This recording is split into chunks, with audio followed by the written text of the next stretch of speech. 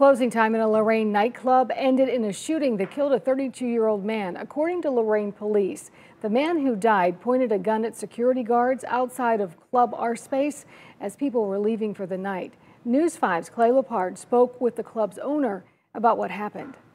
Howard Washington prides himself on running a tight operation. We've never tolerated that. We don't do that. Inside his Lorain nightclub named Club Our Space, the music was winding down Saturday night with about 200 people inside after hosting this act. He was waiting standing up against a car right here. According to police and how Washington recounts it, at around 1:30, three licensed certified security officers were escorting a woman out of the club when one spotted a man holding a gun waiting outside. They called it out. They said, "Gun, gun, put the gun down." People were coming out of the door. He raises the gun and he fires at them. And they, of course, you know, doing their job with their train, they uh, they fired back. Remember that poster advertising Saturday's event? It even touts tight security on it.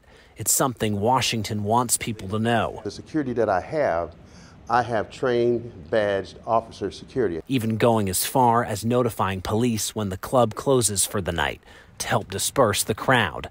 As for his own security, as far as doing anything different, nope, they followed all the procedure.